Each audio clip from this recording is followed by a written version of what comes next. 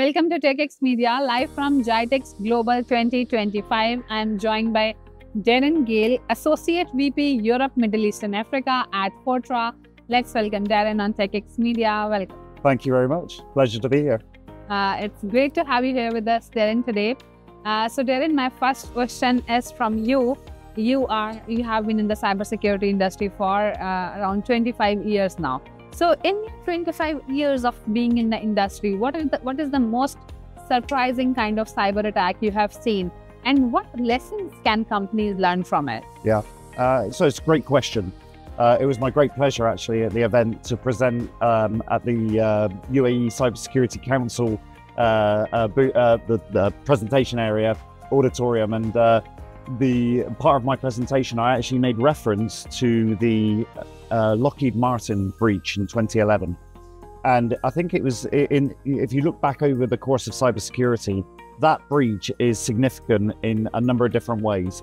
First of all, it was from an APT group, uh, Advanced Persistent Threat Actor group, and their level of sophistication to attack an organization that had two factor authentication already fully implemented on their perimeter um, was incredible. And the strategy uh, is very famous in the industry. The strategy that the threat actor employed was to actually target their service provider, which in this case was RSA, the security company, with a weaponized Excel spreadsheet to gain access and actually navigate around that organization to steal the seed server, which generated the second factor so that the attacker could then target Lockheed Martin um, with a brute force attack, already knowing the second factor.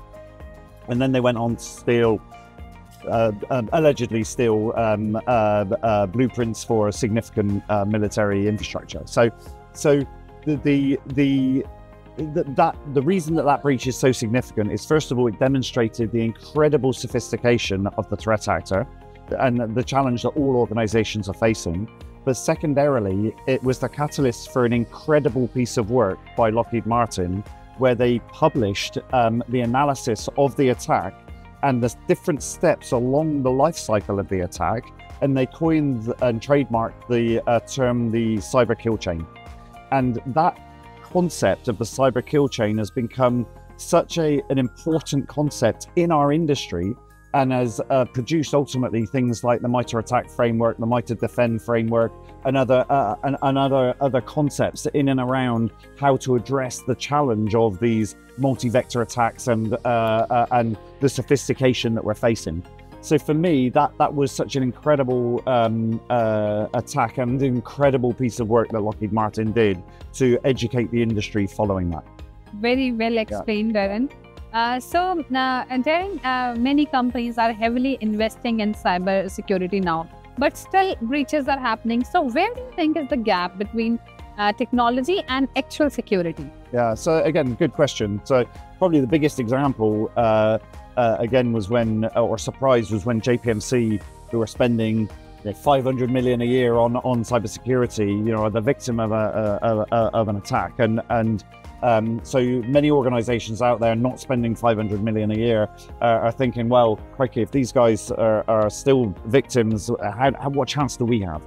And, and I think, um, from my perspective, the, the, the answer comes in the emerging discipline of offensive security. And this is something I'm very passionate about. Um, and uh, indeed, at Fortra, we're in a very privileged position because we have both defensive and offensive tools that we service the market with. And really, um, a great many of the world's elite red teamers are utilizing our tools uh, from a from an acquisition that we made called Outflank. And um, in doing so, um, are helping organizations challenge their environment by having an ethical hack activity.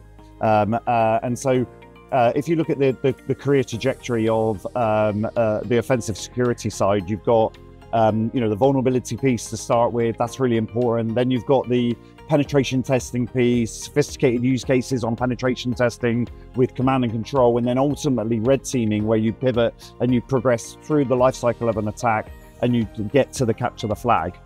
So leveraging that red team activity and the reason why that red team activity is becoming a critical component to be compliant with many of the regulatory frameworks is because the learnings from that red team, delivering those learnings to the blue team, the defending team, is really where I see that gap. So you can buy all the best uh, tools in the world, but when until you challenge yourself with a with a um, uh, an ethical hacker with the ability to get to the crown jewels to do the capture the flag exercise, you'll never really know whether you're ready, whether you have the right sophistication, indeed where your gaps are. Yeah, and so I think the emerging discipline of red teaming and the and the tooling in that space is a really really important exercise.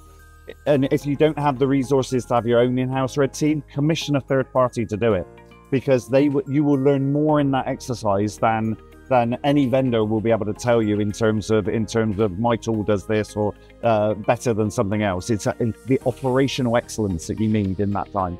I completely yeah. agree with you.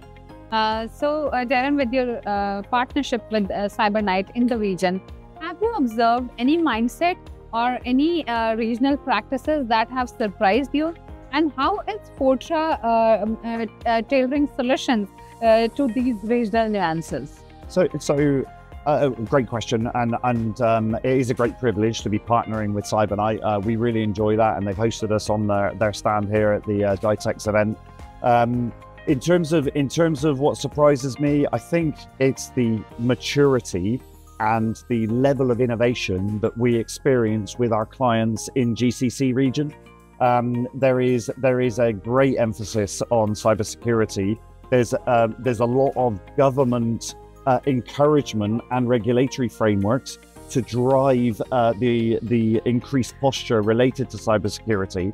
And I think that in many cases, GCC are way ahead of Western Europe and, and, and, and so on in terms of in terms of driving that adoption and recognition of how critically important it is, not just from an individual organization, but the overall posture of a kingdom or the GCC region in, in its entirety. So I think the level of innovation, the level of um, sophistication is is you know it is it is surprising, world leading in this in this theatre.